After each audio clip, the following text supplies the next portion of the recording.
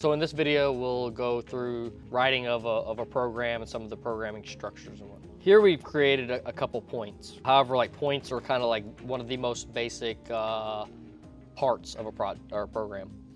So to do a little bit of program editing, a few things that, that we'll do here and a few things that I kind of always do whenever I do programs. Uh, we'll come over here, we'll hit these like next button. You can use the next button down here on a regular teach pendant. So you're gonna go to this EDCMD, which stands for edit command. We're gonna use the insert function. Notice you have like delete, copy, find, replace. You can do some other functionality there. So we'll do insert. How many lines do you wanna insert? I always like to create a nice gap. So I'm gonna say five lines, enter.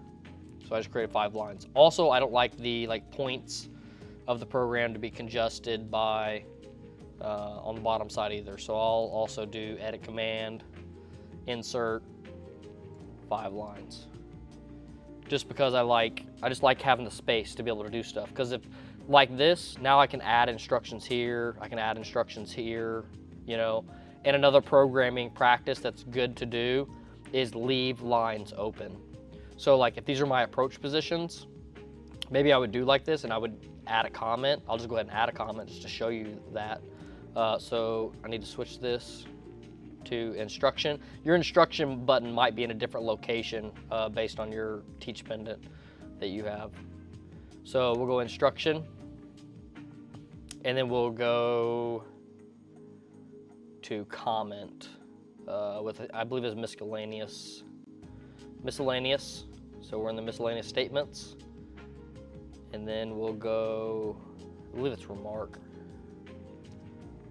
So now we have a remark here, hit enter. So I, I, created a remark right here, which the remark is the comment. So from here, I'll hit enter. And so you can manually punch in. A lot of the old robots, this is how you had to do it, was the only way to do it. This is like the old cell phone method of like punching in uh, a name for something. So we would call this like, I'm just gonna abbreviate this and we'll just say pick.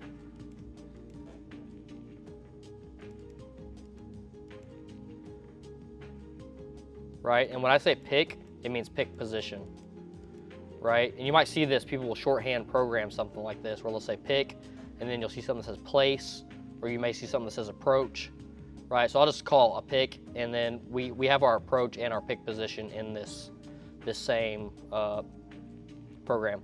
So all this did was give, give us a comment. This has no functionality to it other than for the human to be able to read something. That way, whenever you, whenever you come through here and you're reading this program, you're not just looking at points and just trying to have to guess what every single thing is. So commenting is very important to, for being like a good programmer.